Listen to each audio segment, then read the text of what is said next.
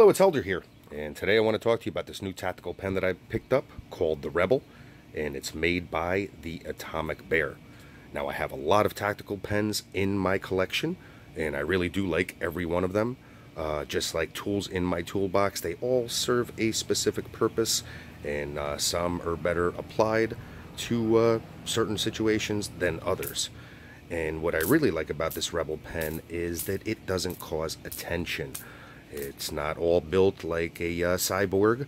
So once again, for the purpose of carrying this and carrying concealed as a self-defense weapon, you're not going to get questioned as much as you would with many of the other tactical pens out there, uh, even others that I own, that really do look tactical.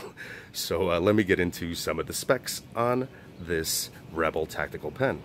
Now this Rebel pen features an aircraft grade aluminum body, nice, sleek, smooth, tungsten tip, which is the uh, business end, whether you're utilizing it as a glass breaker or for any other type of uh, self-defense application. Now uh, it also has this uh, pocket clip here, and what I really do like about the pocket clip is it has this little indent here for your finger. So as far as being able to hold it, it just really feels good in hand, feels good um, on the finger.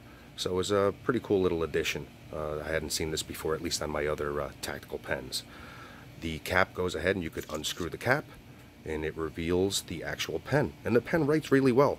Uh, comes with an extra refill, comes with uh, the actual uh, cartridge in the tactical pen already, so you're actually getting two of them, which is nice. And uh, basically writes like one of those Parker pens. Uh, the refill itself uh, can go right into a Parker pen, so those are pretty high-end pens. They write really well. So not only are you getting a good self-defense tool, you're also getting a pen that writes very well. Uh, the one thing that I'm not crazy about the design, but it's certainly not a deal breaker, is the way that the cap would affix to the back. So if you do want to write, take the cap off, place it on here. It doesn't really stay on very well.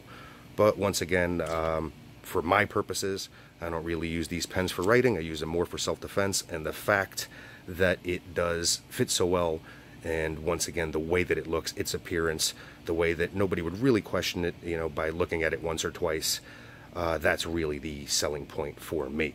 So bottom line, if you are in the market for a discreet tactical pen that's really well built, writes very well, comes with a lifetime uh, warranty from a reputable company, definitely take a look at this Rebel by the Atomic Bear. Uh, it's definitely something that I'm going to be carrying in my airport go bag, especially for overseas and international uh, purposes. And uh, I feel that if you do pick it up, you won't be disappointed with your purchase. Once again, this is Helder, I hope that you found this review helpful.